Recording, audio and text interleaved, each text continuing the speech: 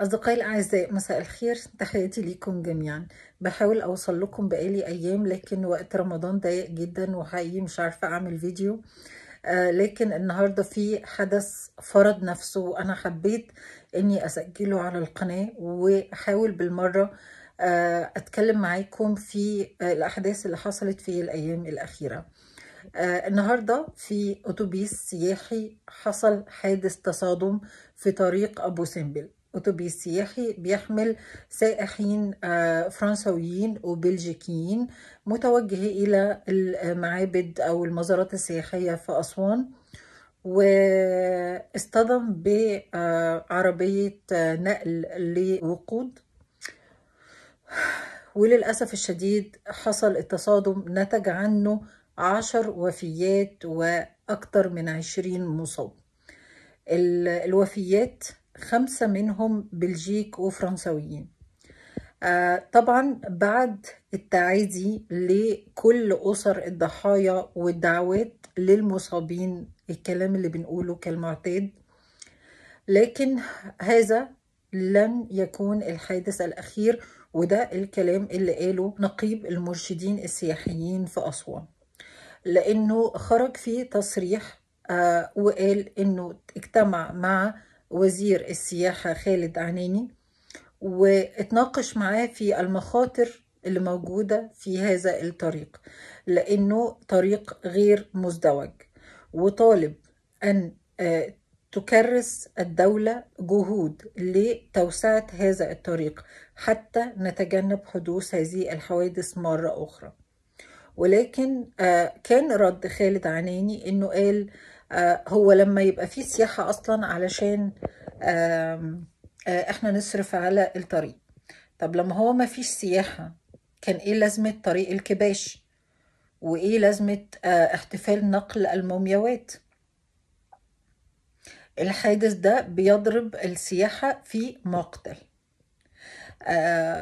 الفلوس اللي اتصرفت على افتتاح طريق الكباش كان لازم تتوجه كلها لتأمين الطرق المؤدية للمزارات السياحية في أسوان.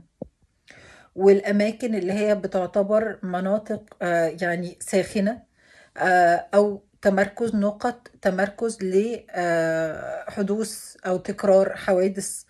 وهذه ليست هي الحادثة الأولى التي ينقلب فيها أو يحصل تصادم ما بين عربيات بتحمل مواد سريعة الاشتعال. وطبعا مش عايزة أقول لكم أو أكيد أنتوا فاهمين إزاي سوف يتم استغلال هذا الحادث بطريقة سلبية جدا وسيكون تأثيرها سيء جدا على السياحة في مصر. إمتى؟ في الوقت اللي إحنا محتاجين فيه العملة الصعبة. في وقت اللي بيرتفع فيه سعر الدولار مقابل الجنيه المصري. وبيتم إعلان إن المخزون الدولاري النقدي في مصر أو في البنك المركزي المصري بينخفض. والوقت اللي بيتم إعلان إن سيكون هناك ترتيب لقروض قادمة. إذا إحنا محتاجين الدولار اللي بيجي من السياحة كمصدر رئيسي أو مش هنقول رئيسي دلوقتي طبعا النسبة الأعلى بتيجي من تحويلات المصريين بالخارج اللي للأسف الشديد ما بيتمتعوش بالخدمات التي تقابل التحويلات اللي بيبعتوها أو لما بينزلوا بيبدلوا عملة. لكن إحنا بنقوم بواجبنا أو بدورنا تجاه بلدنا بلا مقابل أو خدمات بناخدها أو امتيازات. آه، تخلينا نحافظ على استمرار هذه التحويلات.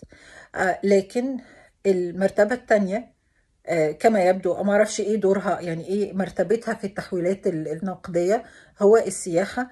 وحادث زي ده لك أن تتخيل في هذا التوقيت تحديدا الجو بيتحسن وناس بره في أوروبا عايزين يقضوا أجازة الإيستر أو الأوستر أو اعياد شم النسيم عايزين يقضوها في مكان درجة الحرارة فيه كويسة وده موسم لأهل أسوان بيتضرب السياحة.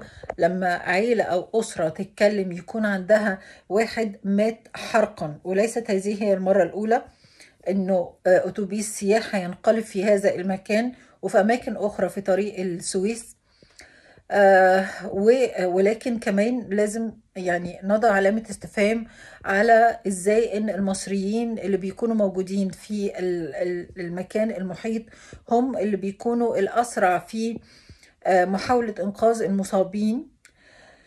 آه آه بأي حاجة بدائية بيرموا آه رملة بيكبوا مية بيجيبوا من محلات مجاورة الطفايات الحريق الصغيرة جدا وبيقعدوا يقولوا لبعض ابعد ابعد علشان ممكن يحصل انفجار أكبر الناس بتضحي بنفسها وبتعرض نفسها للمخاطر ليه؟ لأن هناك تأخر في وصول الإسعاف ومفيش لسه الاختراع اللي اسمه الإنقاذ الطائر أو الإطفاء الطائر. إن حاجة تبقى متمركزة في الطريق بحيث إن إن توصل بسرعة للمكان الحادث. فطبعا دي حاجة سيئة جدا إن حتى يعني مش كفاية إن إحنا مش عايزين نعمل توسعة للطريق ويكون ده طريق مزدوج لا كمان حتى مش بنحاول إن إحنا نأمن سرعة أو يعني فورا توصل بسرعة إسعاف طائر لنقل الناس.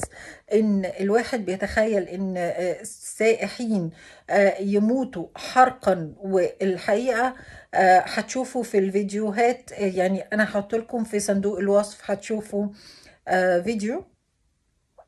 أنا نشرته على صفحة الواقع المصري.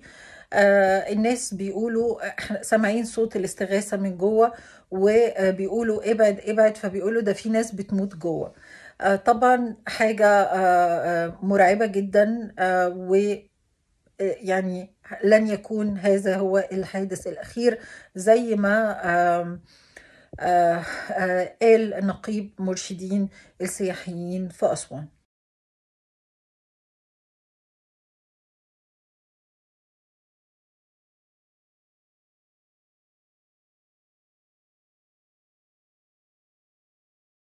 مين هيتحاسب؟ ما فيش حد هيتحاسب. ما فيش ما فيش حاجة. يعني ما فيش حد ممكن يتحاسب على هذا الحادث. آه ما أعرفش حالة السائق اللي هو كان آه معاه المواد المشتعلة. طبعا في ناس بتقول إن دي حاجة بفعل فاعل آه أو حادث متعمد. طول ما ما فيش حد بيتحاسب طول ما الباب مفتوح للأقاويل والإشاعات و و و. اللي عايز السياحة تدخل مصر فعلا وترجع زي زمان والسياحة تنتعش. يجب أن يهتم بالطرق. خلينا نضيف على الكلام ده برضو علشان نعمل حصر للحاجات اللي حصلت في الأسبوع الأخير. هحط لكم برضو اللينك عشان تشوفوها. إن في يوتيوبر أمريكي نزل مصر وكانت له تجربة سيئة جدا مع التعامل الأمني معه وإزاي تم ال ال الاستيلاء زي ما بيقول على معدات التصوير بتاعته وحتى التليفون اللي كان بيصور فيه اتمسك وقالوا له لازم تمسح المقاطع اللي عليه. آه العنوان بتاع الفيديو ان هو يعني آه بينصح الناس إن هم ما يجوش مصر تاني وإنه لن يكرر التجربة مرة أخرى. ال ال الفيديو بالكامل عبارة عن فضائح مسيئة جدا لمصر. آه عدد المشاهدات تخطت ملايين. هي بتنقل الواقع بكل يعني ألمه والسواد اللي موجود. واحد دخل في وسط الناس وصور كل حاجة. طبعا الحاجات دي قد إيه مسيئة. آه تتخيلوا إنها ما بتوصلش بتوصل لغاية ولادنا وأصحابهم لأن دلوقتي تأثير ال social media واليوتيوب والفيديوهات كلها بتوصل للشباب والجيل الجديد. في مخاوف كتير. أنا أعرف ناس كتير بشكل شخصي بيحبوا جدا إن هم يجوا مصر وكانوا بيجوا زمان. دلوقتي من جنسيات مختلفة نمساويين مجريين إيطاليان مش حابين إن هم يجوا مصر. الظروف العالمية كمان يعني أكيد مؤثرة على وضع السياحة لكن إحنا كمان ما عملناش اللي علينا. وخالد عناني مهتم جدا بالآثار. وهناك الكثير من الاكتشافات الحقيقية المشرفة. مجهوده واضح في الآثار والاحتفالات الأثرية لكن والاكتشافات الأثرية والاحتفالات التي تتم في نطاق الآثار ما يخص السياحة خالد عناني بمجهودات آه، مش محدش لامسها آه، لا العاملين في القطاع السياحي ولا العاملين في الفنادق ولا إحنا كمواطنين شايفين الرواج السياحي ولا شايفين بره أي مجهودات بتتعمل علشان جذب السائحين. وإذا كانت حاجة بتتعمل فهي ليست بهذا المستوى الذي آه، آه، مش على نفس مستوى الآثار ولا هو المستوى اللي يحول يعمل انتعاشه حقيقية وانطلاقة في السياحة في الوقت الحالي. التحدي اللي موجود في كورونا في العالم كبير. مصر بتتمتع آه، بجو رائع وطبيعة خلابة. و- وإحنا عارفين قيمة بلدنا كويس قوي لكن للأسف قطاع السياحة آه، بحادث زي ده هيتأثر كتير وهو أصلا بنحاول إن إحنا ننعش جثة هامدة آه، آه، وكل شوية يحصل حادث خلصنا من الحوادث الإرهابية دلوقتي حوادث في نطاق حوادث الطرق وبتسمع في الغرب بشكل يعني أذية للسياحة أكيد كلكم متخيلينها وفاهمينها